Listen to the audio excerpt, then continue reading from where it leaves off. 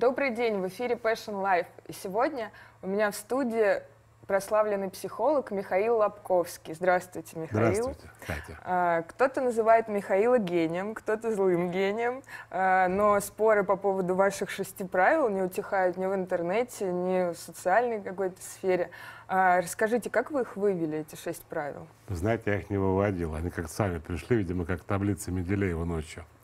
Просто я давно работаю психологом, и рано или поздно, видимо, количество лет пришло в качество. И вот так появились правила.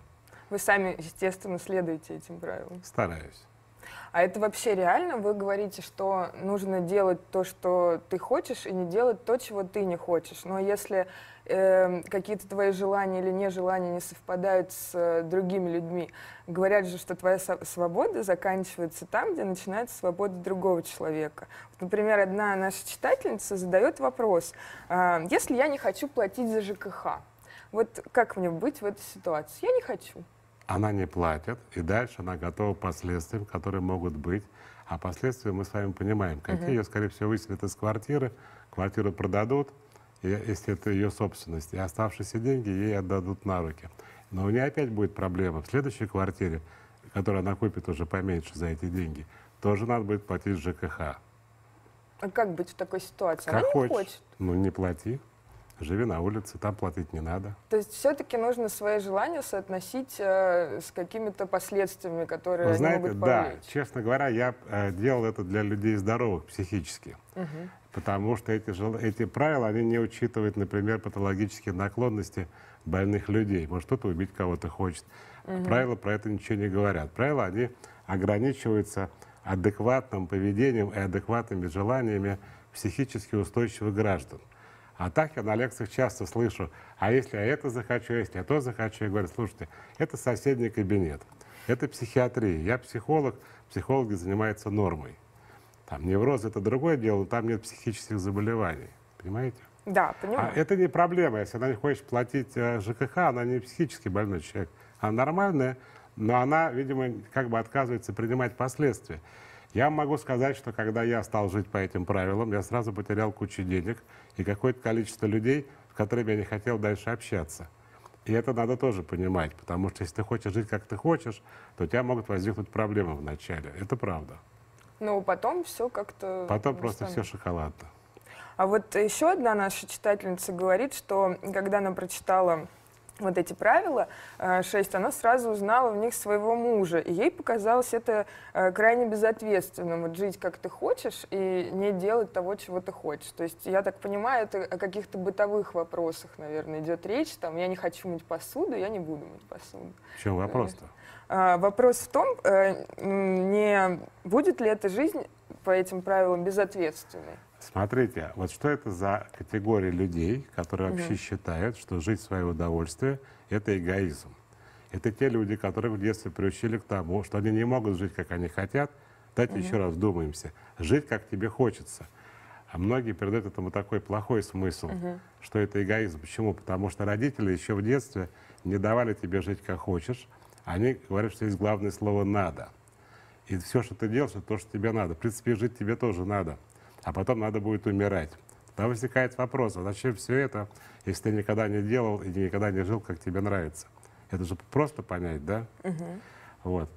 Хрущева в свое время сняли с работы с формулировкой за вульгарное понимание социализма. Вот история про мужа, который эгоист и делает то, что хочет, и это похоже на мои правила, это вульгарное понимание правил. Правило про то, чтобы человек жил так, как ему нравится, и в этом нет ничего плохого. Понимаете? Да. Если он не может мыть посуду, он может, ну, я не знаю, зарабатывать деньги на посудочную, посудомоечную машину или на специально обычного человека, который будет убирать в квартире и мыть посуду. Не вопрос. Она же о другом говорит. Она тоже не хочет мыть посуду. Вот одна наша читательница завидует невестам, хотя сама счастлива замужем, у нее была красивая свадьба и платье мечты, но тем не менее, когда подруги выходят замуж, она плачет и завидует им. Опять в чем вопрос? Она спрашивает, почему так, почему я завидую невестам. Ну, есть люди, которым не живется. Зависть — это такое, как сказать, убивающее тебя чувство, да, от которого ты страдаешь, потому что ты думаешь, что есть какая-то другая жизнь у других людей, она ярче, чем у тебя, богаче, праздничнее и так дальше. Она пережила этот оргазм первый раз. Ей захотелось опять, чтобы ей прибили куклу на капот машины, цветочку куда-нибудь ставили, ленточки по бокам и так дальше. И когда каждый раз, когда она попадает, она вспоминает, видимо, свой праздник, и ей не живется в том смысле, что у нее это уже было, и это уже не повторится. Так легко же повторить. Взяла, развелась, вышла замуж еще раз. И так хоть каждые полчаса. А я, знаете, знаю одну пару, которая каждую годовщину своей свадьбы устраивает новое торжество. Как вы думаете, это правильно в такой ситуации? Это же не вопрос правильно. Вот им хочется так делать. Им это приятно, ну замечательно.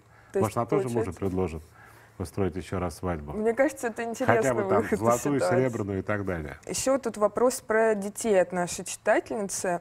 А, старшему ребенку 8 лет, всего трое детей. Читательница, к сожалению, не называет своего имени.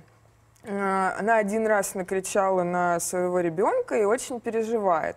И ее не покидает чувство вины перед вот этим старшим мальчиком, которому 8 лет, и считает, что из-за этого, из-за того, что она один раз позволила себе э, повысить голос, его недолюбливают во, во дворе, и в школе он учится на двойки и тройки. То есть она считает, что она подавила уверенность в себе у Катя, своего ребенка. у меня к вам есть предложение. Да. Смотрите на меня. Да. Вот мы заодно будем знакомить читателей с правилами. Четвертое да. правило, знаете, как звучит? Не отвечай, когда тебя не спрашивают. Поехали дальше. Понятно. А, и это, знаете, что Это же не первый, не вопрос, обратите внимание, а какое-то послание, в котором нет никакого вопроса. Вы обратили внимание? Да, она я же ни о чем не спрашивает. И она не одна такая. Это и есть невротики. Они так разговаривают, они так живут. Вот мы сидим с вами, я говорю, Кать, как ты меня все это достало? Я что-то хотел спросить у вас. Нет. я спросил, Катя, вот как вы думаете, там, вас достало, вы устали, да, какая погода хорошая, да? Вы считаете, она хорошая? Там, вам жарко? А я вместо этого просто кидаю какие-то фразы в воздух и жду, как невротик, когда вы среагируете. Типа, Михаил, а что случилось? Что вас mm-hmm. так достало? Вот они также пишут вопросы. Так... Это, это даже не вопросы, это что такое вот было? Вот то, что История сейчас... жизни. История, а дальше что? Было предложение написать вопросы да, к программе. Mm-hmm.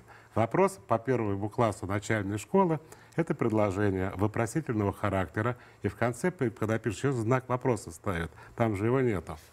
Тогда можно я от себя немножко можно. переформулирую, потому что у меня тоже есть ребенок, и, конечно, как и всякую маму, меня это волнует. Может ли какая-то агрессия с моей стороны повлиять на психическое состояние может. моего ребенка?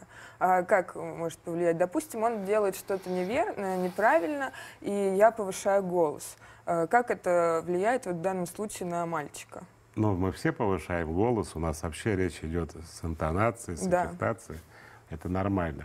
Если вообще человек агрессивный, и вы эту агрессию выливаете на ребенка, у него развиваются страхи, тревога, он становится неуверенным в себе, начиная от того, что он может учиться плохо, как вот ребенок этой женщины, которая почему-то один раз, как я понял, за 8 лет накричала, и ребенок сразу скатился на двойки, да. Вот. А второй там можно до невроза дойти, до других неврозов серьезных таких. Как вот выражать свое неудовольствие ребенку? То есть э, ведь мы не можем все позволять детям? Или Во-первых, мы не ограни... должны даже все позволять детям выражать естественно. Вот мы с вами разговариваем, да. у вас есть какие-то эмоции, да. какая-то мимика, какая-то лексика. Угу. Вы же как-то разговариваете? Да. Нет никаких правил по поводу детей отдельных. Ведите себя так, как вы себя ведете. Вам не нравится, это мне не нравится. Вы огорчены, вы огорчены. Вы разозлились, значит, вы разозлились.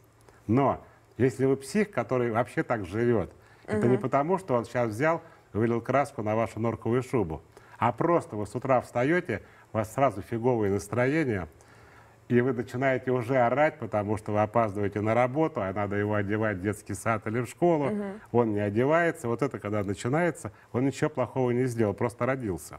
Но у него агрессивные родители – он, да, говоря по-русски, конечно, вырастает полным психом. Ну, таким же, как его родители. А мы говорим о естественной реакции, да, когда угу. ребенок что-то делает. Мы же живые люди. Да. Нас напрягает это, да? Угу. Ну, так надо выражать себя естественным путем.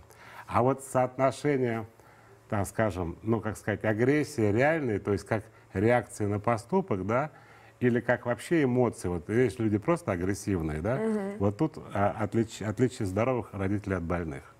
А вот а, бывает, наоборот, ребенок в каком-то возрасте начинает вести себя чересчур агрессивно, но при этом родитель, за родителями такое не замечено. Да, ребенок начинает вести себя агрессивно примерно после двух лет.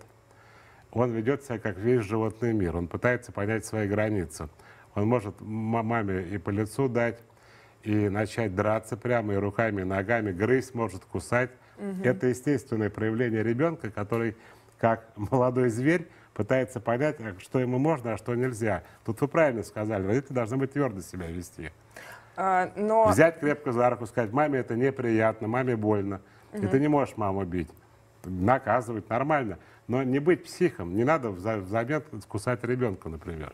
А я слышала, что нельзя, э, нельзя детям говорить слово «нельзя». То есть отрицательные слова э, не да педагогично можно. говорить. Это правда? Нет? нет, это неправда. Катя, вы мне нравитесь, знаете чем? Вы будущий Ларри Кинг. Его когда спросил же один такой в мире, да, все же берут интервью, а у него получается лучше. Знаете почему?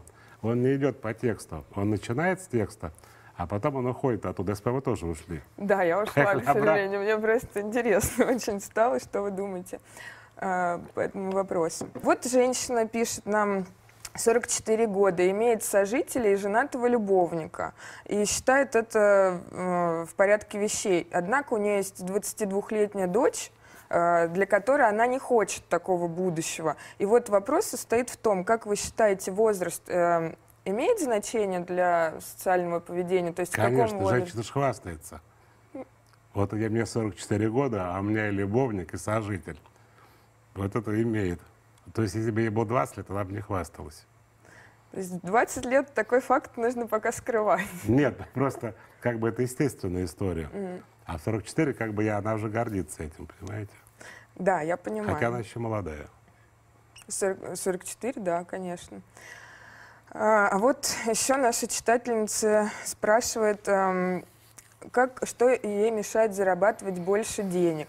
У нее есть э, и образование, э, и э, она любит трудиться, но при этом почему-то вот не складывается именно с количеством заработанных. Вы знаете, обычно низкая самооценка, неуверенность в себе.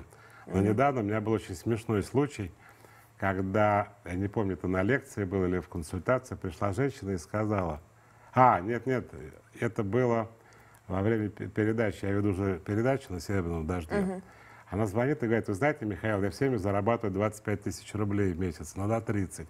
Но как только больше 30, я начинаю заболевать. Я могу заработать больше, но мне становится физически плохо. Вот это интересный был случай.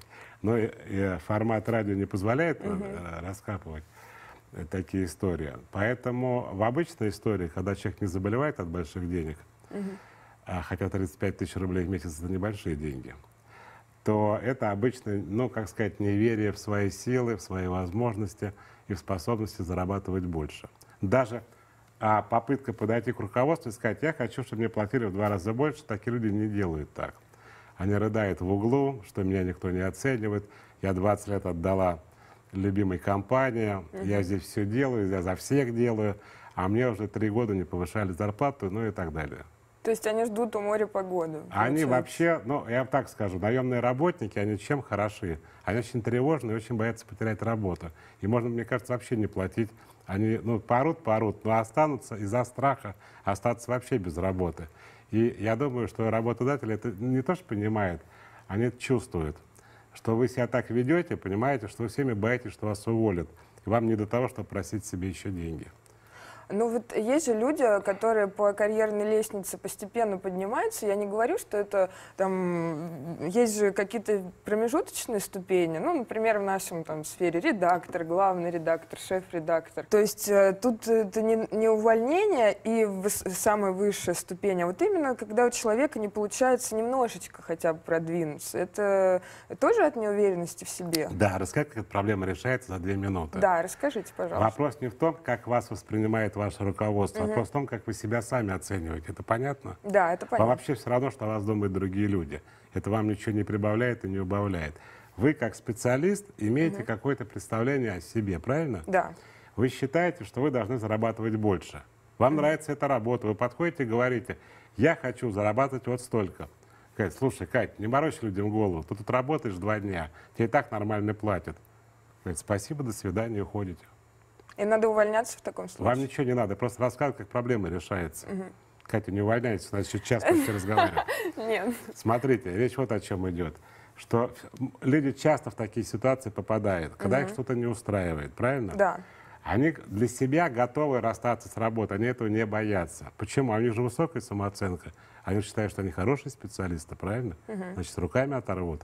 А что тогда дергаться? Но здесь нет денег платить. Вот несколько издательств предложило мне книги писать. И одно очень хорошее издательство, но очень мелкое.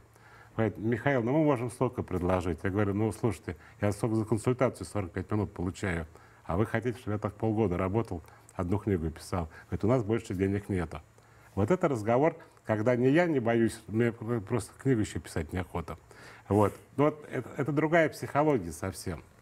А есть люди, которые вообще готовы бесплатно, чтобы их только издали они готовы будут не только на эти деньги, они еще сами издательству дадут деньги, только чтобы их выпустили. Это все ну, в голове происходит. А вот а, еще наша э, читательница спрашивает, э, тут уже не про работу, а про отношения. Как разорвать токсичные отношения, если вы друг другу не подходите?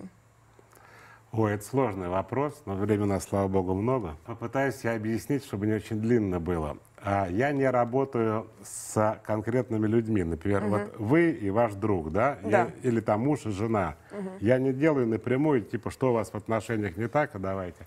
Почему объясню? А если у нее есть проблема разорвать, а она головой понимает, что это отношения нездоровые, угу. то значит у нее есть потребность страдать. Угу. То есть дело не в том человеке, который, как бы ей кажется, заставляет ее страдать. Дело в том, что у нее такие, такая психика она сформирована в детстве уже как, ну, такая была обстановка дома, может быть, я не знаю почему. Но она привыкла страдать. Ей очень нравится мазохистически, не головой, нет, эмоционально она испытывает потребность, чтобы ее там обижали, унижали. А, и она, к сожалению, очень, по, так сказать, зависима от таких отношений. Но голова ее говорит, это невозможно. Я угу. просто там помираю, он надо мной издевается. Типа она называет это токсическими отношениями. Это на самом деле правда. Как у любого невротика, у нее есть конфликт, когда внутренний, когда она головой говорит, что мне это не надо, угу. а ее организм, включая, кстати, сексуальное влечение, требует именно такого подонка и негодяя, потому что другие вообще не возбуждают. Вот с этой проблемой надо работать. Надо изменить ее влечение. Говоря по-русски влечение, а не по-русски либидо. Да. А не разбираться между ее отношениями а, в паре, типа, что не так, и давайте. Это ничего не дает. А вот если она сможет изменить свое влечение, что вообще неинтересно будут люди, которые к ней плохо относятся. Вот это будет один раз и на всю жизнь. А если отношения стали такими, то есть э, начинались они, например, хорошо, э, я читала в вашей статье, что отношения проходят три стадии. Э, сначала все хорошо, потом начинает, ты начинаешь узнавать реального человека, и становится все уже... Не, не, не. Вы знаете, не совсем так. Ну... Не то, что три стадии, так статья написана, там стадий да. хоть 500 может быть. Страх, там же написано четко, почему это происходит. Из-за вашего страха. Угу. Вот, например, мы с вами живем в паре, угу. и мне не нравится, как вы себя ведете со мной, как вы готовите, и вообще, как вы себя разговариваете. Угу. Но я боюсь вас потерять и остаться один, и я начинаю молчать. Угу. Вы чувствуете, что я веду себя как жертва, и ваш даже инстинкт животный заставляет вас ну, доминировать. То есть дальше продолжать себя так вести, угу. потому что видите, что я слабый в этой истории, правильно? Это такие инстинкты, я сказал, базовые у людей. И когда вот там женщина расспрашивает, да. хотя и с мужчинами хоть реже тоже так бывает, и когда женщина сначала пропускает одну историю, ну, например, я не знаю, давайте возьмем такую неприятную. Угу. Есть такой анекдот, как мама сидит с дочкой поздно ночью, и дочь говорит, мама, я так волнуюсь, два часа ночи мужа до сих пор нету. Мама говорит, слушай, вообще не волнуйся, да ничего не произошло, ваша машина переехала. Так вот, а, представьте себе картину. Вот ваш муж вам изменил, угу. вы порыдали уже, побегали по потолку, поорали, вещи повыкидывали из дома, к маме уже сбегали, потом вернулись обратно, продолжаете рыдать, и ничего не происходит. И он понимает, что с вами так можно жить дальше. Понятно, да? Угу. И все. Вот так отношения портятся. За счет того, что вы все это проглатываете и ведете себя просто тупо как жертва. И тогда с вами перестают считаться. Вот и все. То есть второго шанса быть не может. Я говорю не только про измену, а любые другие, а так скажем, второй косяки. Шанс надо всегда людям давать. Угу. Всегда. надо вообще объяснить, что вам это неприятно, и что если это будет продолжаться, я не знаю, что что-нибудь, да, угу. что мы на этом отношении закончим. И на этом отношении надо закончить, если это ничего не изменится. И у вас есть второй вариант. Вам уже все устраивает. То есть вам уже никаких проблем, все нормально. Угу. Я когда, знаете, когда я первый раз понял? Мне было лет 16 или 17, я шел по улице и встретил очень красивую рыжую девчонку. И я к ней подошел, и от неожиданности она вообще сразу сказала, да, типа, пошли. Я офигел, и, видимо, у меня была невысокая самооценка, и я очень волновался. Потому что я думал, что сейчас меня просто пошлют, а она меня не послала. И я на нервной почве после каждой фразы говорил мать. Ну, например, говорю, ну что, мать, в кино пойдем? И вдруг она мне говорит, слушай, не говори, мать, мне это неприятно. Говорю, мать, не парься. Она говорит, ты еще расскажешь, я вообще уйду. И ушла. И вот тогда я был еще таким подростком, я тогда уже понял, не надо вот этих третьих шансов, пятых. Если себя ведешь как дебил, то отдыхай дальше один. Она себя абсолютно правильно повела. Как независимая. Да, пожалуйста, пойдем вместе, ты мне тоже нравишься, но не любой ценой. Если mm-hmm. тебе не нравится, я тебе говорю об этом, ты же не тупой, ты же слышал. Зачем ты это повторяешь? Я по другой вопрос, я то повторял, потому что был молодой и, видимо, переволновался от радости. А у зрелых людей это, да, такое поведение, оно не меняется. А что дальше ждать? Ну, это ведь надо иметь огромную силу воли, чтобы взять вот и уйти из отношений. Я да вот, нет. насколько знаю... Сила воли вообще здесь никакой роли не играет. Катя, о чем вы говорите? Надо опять, мы возвращаемся, быть в себе уверенной, считать, что ты, это не единственная любовь в твоей жизни, от которой ты, кстати, страдаешь и плачешь, да, что какая-то свинья грязь найдет, это не последний мужик, который как троллейбус, знаете, угу. один ушел, придет другой. Вот такие люди. Кстати, таких люд, людей мужчины уважают, они всеми в тонусе живут, они не то, что не изменяют, они очень предупредительные, они всем боятся, как бы их самих не кинули. А когда женщина как жертва себе, у вас женские направления, да? Конечно. Ну, правильно мы разговариваем. А когда женщина идет себя как жертву, ну а кто с ней считаться будет? Кому это вообще интересно? Если вы и так все проглатываете, правильно? Да, а вот а, опять же я прочитала на вашем сайте а, статью для мужчин, как э, не а, как выйти из отношений со стервой. Вот какая разница между женщиной, уверенной в себе, и стервой, получается? То есть, которая унижает мужчину, которая ведет себя независимо. Катя, какая разница между зеленым и каменным? Примерно такая же связь между уверенностью. А какая связь между уверенностью и стервозностью, я не очень понимаю. Ну, а вы вот сейчас говорите, э, что женщина должна быть независимой, если ей что-то не нравится а в отношениях. при чем? Она должна из них... Вы так стервозность понимаете? Я не знаю, честно я говоря. я тоже не знаю, я же не женщина. Стервозность. Есть такие два качества, одного mm. мужчины, одного женщины, которые психологически трудно объяснить. Мы можем прибегнуть к народному. Mm-hmm. Женщина стервозная, а мужчина говнистый. Вот да. трудно как-то по-другому да, сказать. Угу. Вот такие люди, они могут быть уверены или не уверены. Кстати, они не уверены, стервозные. Зря вы думаете, что они уверены. Они просто себе жертву находят. Вот в этом контексте они такие, да? Угу. Помните, был, вы, наверное, не помните, вы молодая, был первый фильм «Экипаж». Не этот, а самый старый. Я помню. Помните, да? Да. И там была такая стервозная тетка, которая прямо издевалась над этим бедным летчиком. Да. И ребенка ему не давала, и там на суде его оболгала. А вот когда пришел навестить, она такая лапочка, у нее муж другой, совершенно другой мужик, да? Угу. Она его обожает, вообще не стервозная, мягкая такая, ласковая. Это зависит... все в контексте, это все зависит. Нет никаких абстрактных стервозных женщин. С одними так себя ведет, и мужчины себя ведут по-разному. Как вот найти эту грань между уступчивостью, когда ты наступаешь на горло своей песни, и нормальным, адекватным поведением? То есть, когда ты заботливая женщина, когда ты идешь на какие-то компромиссы? Пункт номер два правил, говорит, не делай, что не хочешь. Там нет никаких компромиссов. Вы можете хотеть это сделать. Ну, возьмем mm-hmm. простой вопрос. Вот вы замужем, вы оба приходите с работы, оба mm-hmm. вы уставшие, да? Да. И есть гора немытой посуды. Mm-hmm. Вопрос не чья очередь мыть посуду, не в том, что я сейчас прогнусь, потому что муж больше, чем я, зарабатывает. Mm-hmm. И не проблема мужа вымыть посуду, потому что вы с ребенком ночь не спали и сидели. Вы должны хотеть мыть посуду, потому что вы прям так любите своего мужа, прямо обожаете его, что просто, чтобы он только не напрягся и побежали мыть посуду. Это единственная причина мыть посуду. Никакого компромисса там нету и быть не должно. Вы никому ничего не уступаете, вам реально это хочется сделать, понимаете? Да, я понимаю. От любви. И э. муж, между прочим, тоже вам моет посуду, потому что он реально от этого просто тащится. А не потому, что все достало, сейчас будет скандал, она будет орать, я лучше помоюсь, хоть тихо дома будет. Только я хотела спросить, интересно, бывает ли в жизни такая ситуация, когда муж и жена на перегонки бегут мыть посуду, потому что сильно любят друг друга? Ну, наверное. Это... Ну, к этому стремиться надо, да, и так скажем. Да, но вот э, опять же во многих женских журналах пишут, что нужно уступать друг другу, какие-то компромиссы находить. То есть сегодня, например, ты помоешь, а завтра я. И нужно считаться с мнением э, человека, который рядом с тобой. Это так? Или? Так многие живут. Вы так в Это школе учились. Сегодня вы дежурите, завтра да. вторая парта дежурит. Но это другая история. Люди, когда э, взрослые мне кажется, они могут жить, как им нравится, все-таки, не потому, что они распределили обязанности, угу. или у них очередь какая-то живая, кто будет мыть посуду. Ну, так, убогенько, конечно, но можно, в принципе. Как борцы за справедливость, да, типа, сегодня ну, да. твоя очередь. Э, ну... Мне не нравится такой сценарий, я могу честно сказать. Он ущербный и убогий. Мне тоже не нравится, но мне кажется, в реальной жизни все равно есть какие-то э, вещи, которые никто не любит делать. Ну, то есть не ты, не твоя половина, ну, вы да. не любите их делать, но а делать все равно надо. Это вот как платить за ЖКХ. То есть никто не хочет вы расставаться знаете, деньгами. Скажу. Но... А, когда я был мелкий совсем, угу. очень любил, ну да, не знаю, мне 8 лет было или 6 лет. Угу.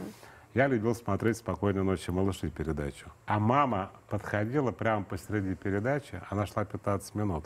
Пять минут ни о чем было, потом мультфильм показывали, а потом до свидания. Да. И прямо посреди мультфильма говорила, так, а сейчас надо пойти пол на кухне помыть. Я говорю, вот сейчас закончится. Говорю, не-не-не, вот прямо сейчас встал и пошел. Говорю, еще пять минут, она закончится. Говорит, да я поняла, говорит, сейчас встал и пошел. Теперь мамы моей давно уже нету, мне уже 55 лет, у меня есть специально обученная женщина, я ей плачу деньги, она пол моет не только на кухне, но и во всей квартире. Решайте, как хотите эту проблему. Зарабатывайте на домработнице, не вопрос. То есть э, вы считаете, что все равно реально построить свою жизнь так, чтобы не делать вообще вещей, которые э, вам Катя, не нравятся? объясняю. Это целая идеология о том, что жизнь так устроена, что в ней mm. много дерьма, и вы не можете прожить без этого дерьма вообще никак, потому mm-hmm. что в любом деле будет что-то, что вам не нравится. Да. Вы это хотите сказать? Да. Это не совсем так. Поехали дальше. Я, я хочу спросить про это. То есть... Э... Можно обойтись без дерьма. Понятно. Это прекрасно. Эм, вот э, пишет э, нам читательница с э, именем супруга, что интернет сегодня у нас пестрит мотиваторами, что мужчину делает женщина, что его успешность и достижения — это дело женских рук. Как вы относитесь к этому утверждению? Спрашивает читательница, и не, не является ли это перекладыванием ответственности на женские плечи? Нет, То я есть, если твой согласен. муж неудачник, то Успехи ты и неудачи — это рук дело женщины. Знаете, какой? какой? Который хотя бы его родила. А, Она нет, имеется в виду, это хотите сказать? Да. Пошутили, поехали дальше. Вот пишет читательница, что ей 41, ее мама была невротичка и диктатор, при этом ей приходится жить с матерью, у нее нет ни детей, ни отношений с мужчинами, и вопрос состоит в том, что может ли она сама без помощи психолога вытащить себя из этой ситуации э, с помощью ваших шести правил. Ну, я прошу, конечно, прощения, но шесть правил это уже есть помощь психолога. Это же не правила, которые написаны там о переходе улицу на зеленый свет. Угу. Это психологические правила. Если она взрослая живет с мамой и не может видеть по-другому свою жизнь, ей большая проблема. Угу. Она не должна же жить с мамой. Вообще все люди, которым больше лет 20, очень уже ненормальны, когда они живут с родителями. И они, в принципе, в мире так и не живут с родителями. Это конфликт создает. И поэтому, если мне не получилось до сих пор от мамы съехать, значит, угу. есть смысл из психолога пойти. У нее проблема. Она минимум инфантильная. То есть э, люди, которые живут... Э, Катя, уже... тоже с мамой живет, что ли? Нет, я с 18 лет. А вот видите? Я просто с вами согласна, поэтому хотела задать дополнительный вопрос. То есть люди, которые старше 20 лет, и они не живут с родителями, ой, вернее, наоборот, живут, простите, это какая-то психологическая уже проблема. Это проблема. Она да. по-разному трактуется. Нет денег, не на что mm. снимать, нам так проще, у нас девочка, мы спокойнее, я не знаю, любая причина, это все равно проблема. Но если дети больные или родители больные, это можно обсуждать, угу. а в обыденной здоровой жизни это ненормально. А когда вы и считаете... дай бог, сейчас читатели поймут буквально, будут детей выкидывать прямо из окна. Нет, это спокойно надо решить. Не надо, типа мы тут смотрели передачу с психологом, угу. что ты здесь делаешь, собирай вещи. И, а вот, кстати, знаете, мама, интересно. знаете, сын звонит взрослый, да. говорит, мама, а что домой купить? Говорит, купи себе квартиру, дурак. Да, просто это интересно, вот постановка. Обычно дети хотят уезжать, ну, по, по каким-то причинам не, не могут. Не обязательно? Есть такие дети, у которых большие проблемы, такая социофобия, они боятся отвечать за себя, в этот мир уходить и так дальше. Они цепляются за родителей. Родители гиперопекающие тоже бывает. Там тогда проблема. А чем грозит вот гиперопека в таком возрасте? Полная, а, это же не в этом возрасте, это только конец, а там начало-то всегда было. А, не самостоятельность, нерешительность, неспособность брать ответственность, принимать решения и вообще жить. Это страх перед жизнью. А бывает ли, наоборот, э, обратная ситуация, когда детей чересчур опекают, и они э, как бы в противовес этой опеке наоборот, становятся, вот, отрицают э, всякий авторитет, вот, более авторитарными становятся. Теоретически может быть, практически они, к сожалению, не научены, потому что гиперопека должна сломать их характер, их самостоятельность. Так что вряд ли, скорее всего. Очень простой вопрос. Как не скучать по человеку? Вот я так понимаю, что наша читательница э, вышла из э, отношений, которые ее не устраивают, и теперь скучает. Рассказываю. Первое, понять, что скучаешь ты не по человеку, угу. а скучаешь ты по тем эмоциям, угу. которые испытывал рядом с человеком. Бывают разные ситуации. Бывают прекрасные люди, абсолютно здоровые психически. Один из них умирает. И то, что другой скучает, это можно не обсуждать. Это нормальное проявление его человеческих чувств. Но если мы говорим о более распространенной истории, когда отношения были тяжелыми и плохими, и ты, наконец, нашла себе силы и ушла, вот ты как бы ушла, а теперь ты начинаешь скучать. Угу. Это как у наркоманов. Такая ломка происходит, потому что у невротиков, они, как правило, эмоционально зависимые, а многие еще и адреналинозависимые. Скандалы, крики, рыдания, хлопанье двери, выяснение отношений, вот этого ничего нету, а желание это есть. То есть вы как-то жили в этом режиме, да, орали, mm дрались, из дома убегали, а теперь его нету рядом, и скучаешь ты ровно поэтому. И тут надо идти к психологу, потому что человеку нужно избавиться от потребности в таких стрессовых историях. А такие люди очень много, их, кстати. Они живут только когда вот все тяжело, все происходит, экшен какой-то должен быть, угу. должны быть страдания, рыдания, ругань и так дальше. Многие это называют по-дурацки почему-то итальянской семьей. Италия так уже давно не живет. А как бы вот ругаться-то не с кем, да, отношения выяснять не с кем, вот отсюда и скучать начинаешь. То есть чрезмерные эмоции, они, получаются, нездоровые, любые, да? Нет, почему? Это же не то, что э, эмоции э, чрезмерные. Есть экзальтированный тип людей, да. которые вообще себя так ведут. Угу. Очень утомительно. Очень. Вот я как человек, который принимает пациентов, я хочу сказать просто, крыша слетает за пять минут. Человек так разговаривает, вот так, прямо весь, и ты понимаешь, что просто хочется куда-то пойти, лечь поспать. А у нас только еще впереди 40 минут, да? Вот. Но они живут, вот когда они себе пару такую находят, у них все нормально. Они орут, вот выясняют отношения, скандалят. С точки зрения, кстати, психопатии, те, которые бойкот объявляют и молчат по месяцу, они более нездоровые. Те, которые орут и истерят, они более здоровые. Ну, как спо... они оба нездоровые. Но угу. этот более здоровый способ решения невротических проблем. Я так понимаю, что невротические вот эти проблемы, их можно решить только в кабинете у психолога. Самостоятельно ну, может, кого-то отпускает. Ну и почему? А, кого-то может отпустить. Кто-то вдруг нашел себе, это редкий случай, такую пару более здоровую, где сам как-то стал уже немножко по, по, по, поадекватнее, что ли. Такое бывает. А вот тут у нас очень тоже простой вопрос. Эм, как найти любовь? Для этого рассказываю. Это очень интересный вопрос. С виду простой. Да. Для этого надо полюбить себя. Вы не можете ничего найти, пока вы себя не любите, вас тоже никто любить не будет. Угу.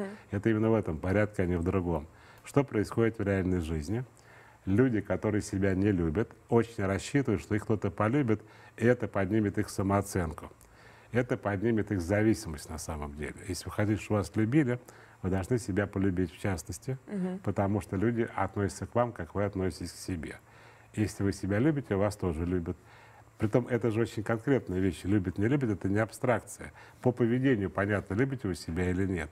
И это считывается другими людьми, их отношения очень зависят от вашего отношения к себе. То есть, э, если человек уверен в себе, то ему легко найти э, пару, получается, такую же Вообще без проблем. здоровую, как и он. Ну, конечно. А если ему попадаются вот э, неправильные люди, невротики? Вот смотрите, ну попадаться теоретически может кто угодно, вообще не попадаются. Мгм. В свое время Наталью Варянову спросили, говорит, а вы могли бы выйти замуж за следствие? Она говорит, да с удовольствием, где мы с ним только встретились. То есть здоровые, они не кучкуются рядом с невротиками, это исключено. У них другой мир, они вообще другие. Ну, как и невротики тоже другие. Мгм. Ну, и у невротиков еще дифференциация есть, они тоже все разные. Но, предположим, вы ошиблись. Вы были пьяны, и дело было ночью. Не проблема. Многие вот приходят, там, в женатого влюбилась. Но я же не знала, что он женатый. Дальше знаете, что происходит? Невротички продолжают страдать еще 20 лет с ним. А здоровый говорит, слушай, ты мне прям так нравишься, ты когда разведешься, ты звони, не пропадай, и уходит. То есть вы можете сделать ошибку, но вы можете ее исправить. Вот о чем речь идет.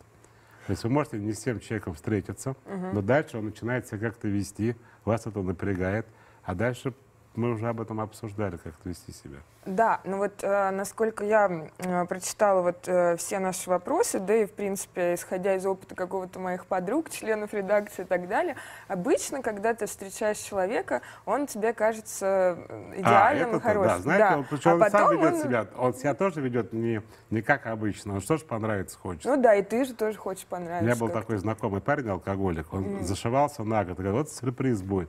Так, женюсь я через полгода, и вроде такой трезвый. А раз через еще полгода у меня кодировка-то закончится, я алкоголик жесткий. Вот сюрприз-то в доме будет. Вот, Вы это да, имеете в виду, Да, да? именно это. Можно всегда соскочить. У вас же есть свобода выбора. Вот родители вы не можете выбрать, правильно? Да. Вы как бы заложник той семьи, в которой вы родились. А может вообще без проблем. А если дети уже есть? У детей с папой свои отношения. Все почему-то женщины пытаются детьми прикрыться. Какое это имеет отношение к вашему браку? Или папа любит детей, или он их не любит. Замужем вы за ним или нет, это не имеет отношения.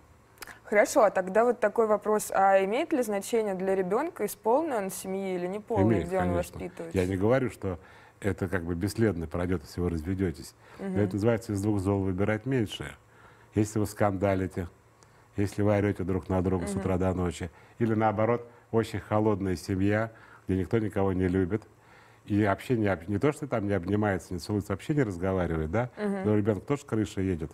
Ну да. Может, вы разведетесь, ему легче станет. Тут неоднозначно все. То есть тут все-таки индивидуально. Абсолютно. А вот э, вопрос к нам на Facebook э, пришел. Девушка хочет развестись, а муж угрожает отнять у нее ребенка. Что делать в такой ситуации? А, ну, мне кажется, это Пойти не к юристу и выяснить Ну вопросы, насколько эти угрозы реальны. Но опять это зал- ты себя чувствуешь заложником в таком случае. Да. Ты что с ним живешь, потому что боишься детей потерять? Ну это вообще бред полный. То есть ты его ненавидишь. А представляешь, что у ребенка про- происходит в душе, когда отец с матерью реально в таких отношениях. Даже если они не при детях это делают, дети все чувствуют, как, что там на самом деле происходит, понимаете? Да, вот еще про замужество спрашивает девушка. Ее все, все время тянет к мужчинам, которые не горят желанием жениться. То есть ей уже хочется создать семью, а мужчинам, которые ей нравятся, не хочется. Э, Как ей быть вот в этом несоответствии? Это очень просто. Она же влюбляется, она же не контролирует, ну, будет он жениться, не будет. Первое, вот ты когда хочешь, да- начнем с простых вещей. Вот вы начинаете встречаться, да? Да. Ты чувствуешь, что вы уже встречались уже сколько можно, надо уже хочется жить вместе. Ты говоришь, старик, хочу, чтобы мы жили вместе. Он говорит, я не готов, пока. Второй этап. Вы живете вместе. Тут нет ни сроков, ничего здесь нет. Просто в какой-то момент вам хочется, чтобы у вас, например, были дети. Ну и семья. Говорит, я хочу детей, вообще хочу семью. Говорит, я не готов. Опять пока. То И есть всё. надо сразу разрывать такие отношения, если у вас ваше желание... Жертвы ждут обычно, но вдруг он разродится. особенно продвинутые жертвы, они еще пытаются забеременеть, сделав дырку в презервативе, а потом женятся, может быть. Такой вариант тоже бывает. Ну, вот, бива- вот бывают же разные характеры. Кто-то быстрее думает, а кто-то... Катя, помимо- если вы хотите замуж, вам нужно характер иметь специальный и думать быстрее, объясните мне. Нет, я имею в виду, что некоторые люди созревают долго. Да вам как, вы что, его мама, что ли, или вы лечащий врач? Пусть зреет, но без меня уже. Слушайте, дайте То я есть- кое-что объясню. Ага. Это ваша жизнь, да? Вы ее так себе представляете. Этот мужчина, он у него другая жизнь. Он ее по-другому представляет. Вы хотите иметь семью, вы хотите выйти замуж и так далее. Он пока не готов. У вас есть куча вариантов. Можете ждать, когда он созреет. Можете не ждать, когда он созреет. Но вы уже в- на этом этапе имеете очень конкретные соотношения сил. Или будет так, как вы хотите, или не будет так, как вы хотите, никогда. Даже когда он на вас женится. Потому что у него свои обстоятельства. Одни говорят, я морально не готов, не нагулялся, я не знаю. Не хочу брать ответственность на себя. Третьи говорят, что ты знаешь, а, мы не можем себе материально позволить ни детей рожать. Это все вопрос выбора. Вам решать, что с этим делать. А вот, кстати, про последний пункт. эм, э, Довольно часто я слышала такие вещи, не в свой адрес, видела такие отношения, когда мужчина говорит, что он не имеет возможности сейчас взять на себя ответственность. То есть он вроде бы и хочет, но для того, чтобы жениться и создать семью, нужна, там, например, жилплощадь какая-то определенная, нужен Согласен. доход. А он пока не может. Вы вот- знаете, у нас Россия очень инфантильная страна. Ни в одной стране мира студенты вообще не женятся. Это бред полный. Нет такой страны, и даже по залету они не будут жениться. Это исключено. Женятся ближе к 30 годам. И женятся, конечно, я не говорю про квартиру, квартиру многие не имеют. В Швейцарии в своей квартире живет только, по-моему, 11% населения, остальные снимают. Речь не об этом. У них 100% должен быть стабильный доход и деньги, чтобы кормить ребенка. Да. Без этого они даже предложения делать не будут. Да и женщина не примет. Это странно. А у нас что? Из армии пришел, давай жениться. Где будем жить, э, разберемся. А ей там 25 лет, уже родители просто давят, типа, старуха ведь уже. Надо уже срочно выходить замуж. Ну, и бред, конечно, полный. Поэтому очень много разводов. То есть нужно искать мужчину постарше или что? Не надо никого получается? вообще искать. Оно должно быть само а, сознание того, что пока тебе 20 лет, ну, получай образование, начинай работать. Когда ты что-то вкладываешь в свою жизнь, то ты к мужчинам также относишься. Они тоже надо что-то себя представлять, правильно? Да. Вот вы же работаете, зарабатываете деньги. Да. Поэтому вы видите мужчину не тот, который тоже из армии пришел, говоря по-русски, а тот, который тоже что-то из себя представляет. Потому что это вопрос зрелости, это вопрос взрослости. И тогда мы говорим уже там о детях, о семье. А когда это 19, ему 21, и только кроме того, что она залетела, никаких больше нет показаний, говорит, давай жениться, почему? Но я джентльмен, ну ради бога, флаг тебе в руки. Только к семье это какое имеет отношение? А жить вы где? бу- А на что вы будете жить? Ну и так далее. То есть в такой ситуации мужчина прав, получается, что надо подождать. Не, дело не в мужчине. Женщина не должна быть такой глупой, чтобы, ну, как сказать, Чтобы хотеть... вступать э, в брак и хотеть этого просто. Вот это было одно из самых первых писем, да, Да. которые завидуют невестам. Вот они такой маразм, она завидует невестам, поэтому жить нам негде, жить нам не на что, а это очень убивает отношения. Деньги являются третьей или четвертой причиной разводов, так, на минуточку. Это тот самый случай. Когда то мы у родителей деньги берем, то мы их занимаем, никто не живет, все пашут.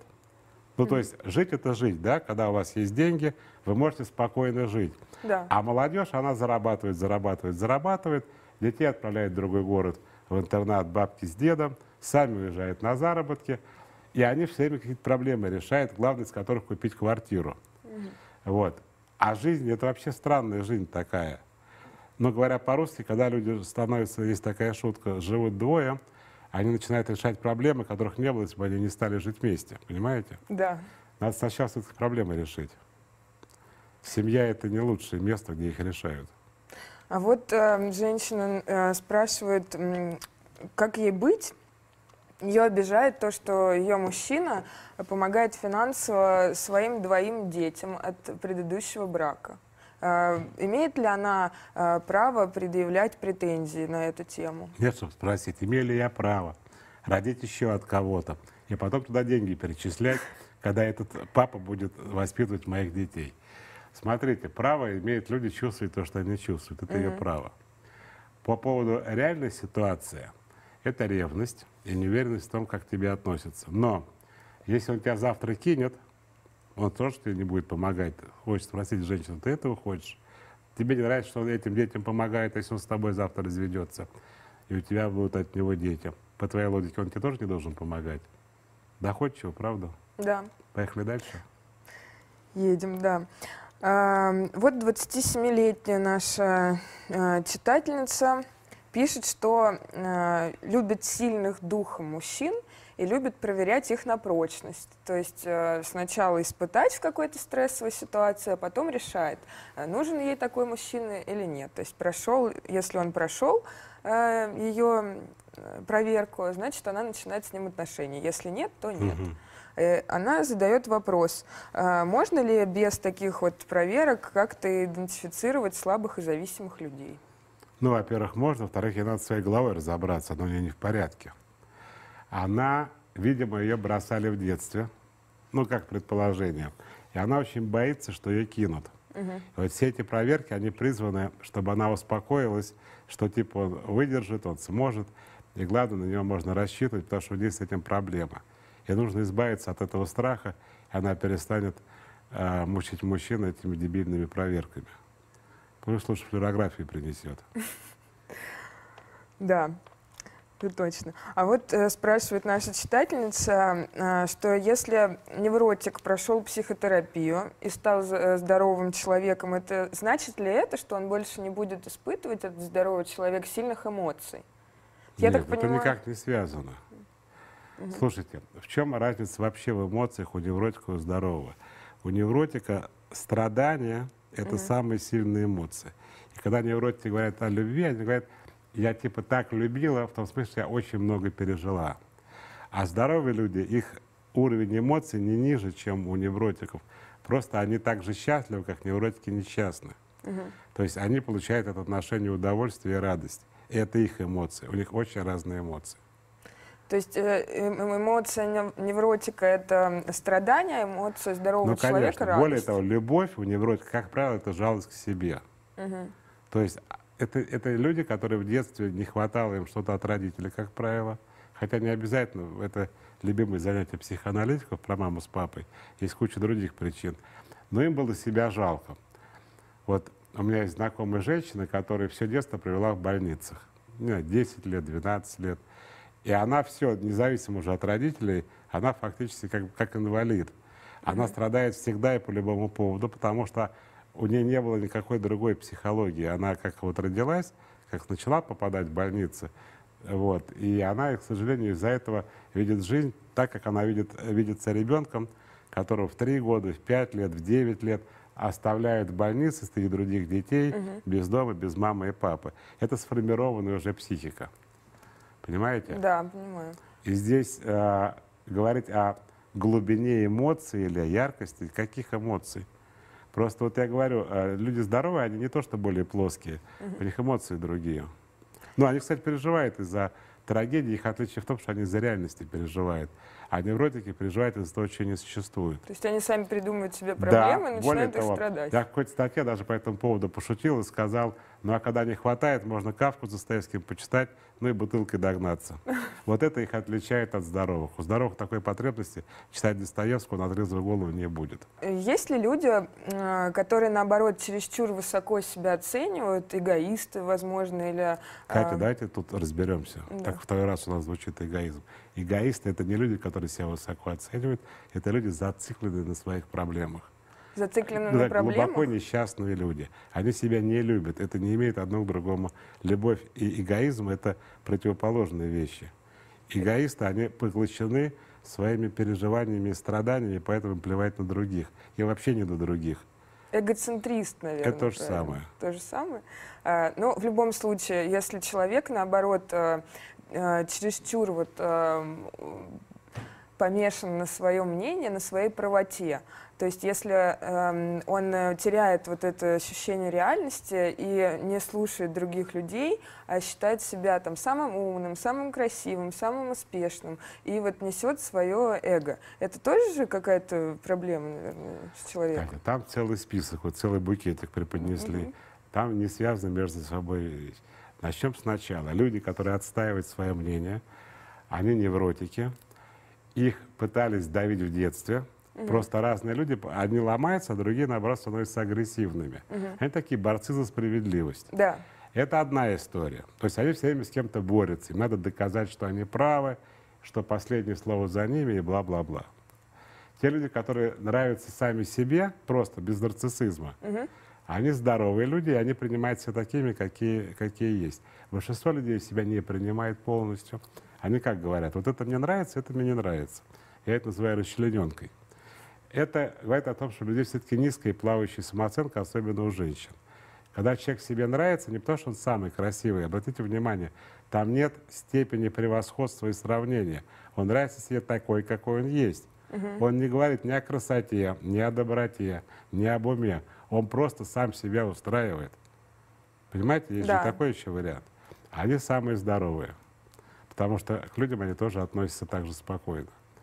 А вот люди, которые помешаны на себе, это нарциссическое расстройство, это очень низкая самооценка, это люди живут обожанием других людей.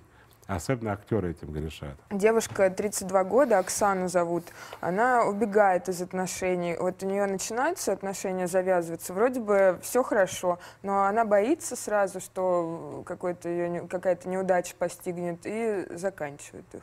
Это и вот она спрашивает, как ей научиться строить отношения с мужчиной. Ей научиться не отношения строить, а избавиться от страха. Она же это делает потому, что нее есть страх, угу. что из этого ничего не получится. Почему? Она когда-то в детстве потеряла доверие к родителям, угу. как правило. Они ее обманули, ну это может быть все что угодно. Тот же развод мог повлиять, то, что там папа из семьи ушел, ну разные причины. Угу. И она теперь боится вступать в отношения, потому что там больно. Вот и все. А вот у нас прям в режиме реального времени на Фейсбуке спрашивают, а, а как повысить свою самооценку? Есть ли какие-то способы, методы? Есть. Что нужно вот сделать? первые три правила из шести вполне достаточно. Делать, что хочется, не делать, что не хочется, сразу говорить то, что не нравится. Если ситуация не меняется, уходить прямо расти будет на глазах. Но ведь мы же не можем а, по щелчку пальцев а, взять и следовать этим правилам. По Может щелчку быть... нет, это требует усилий определенных, конечно. Это усилие воли? Или... Это да. То есть ты должен, когда ты выбираешь, как тебе угу. поступить, да, должен выбирать то, что тебе нравится. Независимо от того, что это нецелесообразно, неэффективно, нерационально. И будут последствия. Угу. Но или ты делаешь то, что ты хочешь, или ты будешь как бы человеком, который никогда не будет иметь ни высокой самооценки, не любить себя, не будет в себе уверенным. Будет подчиняться каким-то жизненным обстоятельствам, правилам, а главное, другим людям. Ну, основном, кстати, на самом деле, своим страхом.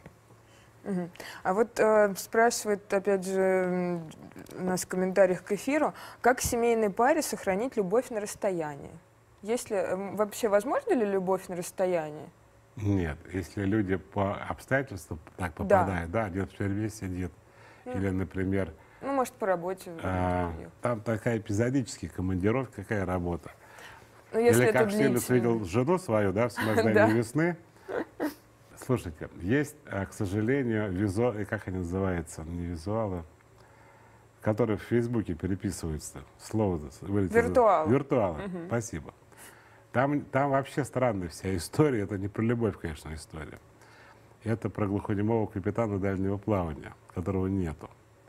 Это отдельная история. Вот тут история вот какая.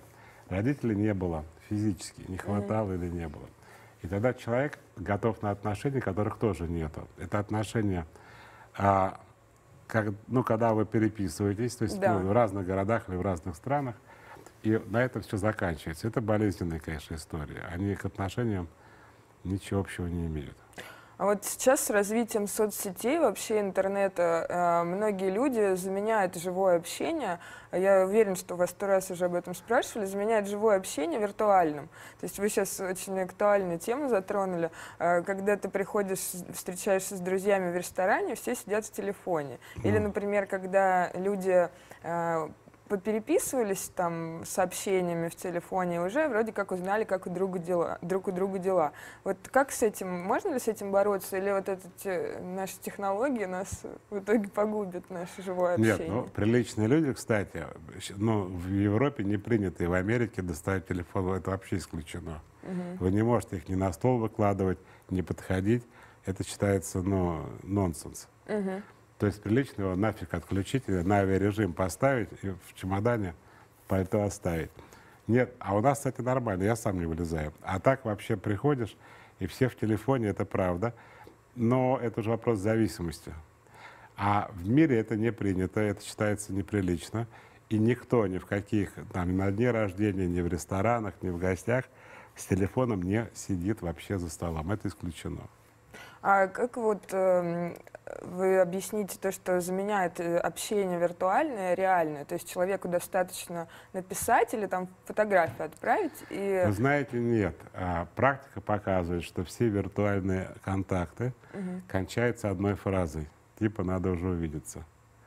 Даже если вы по телефону разговариваете, бог с ним, с компьютером, просто по телефону, все равно вы можете 5 часов разговаривать. До тех пор, пока вы человека живем не увидите, вы не получите психологического удовлетворения от контакта. Угу. Потому что виртуальное, оно как анонизм и секс примерно по отношению к живому общению. Да, все, наш эфир, к сожалению, подошел к концу. Мне кажется, мы могли бы еще пару часов Это вам, к сожалению, я лично устал. Да. нормально. Спасибо вам большое, Михаил. Э, я уверена, что сейчас э, много наших читательниц стали гораздо счастливее, увереннее в себе. Или, по крайней мере, двигаются в этом направлении. Спасибо большое, до свидания.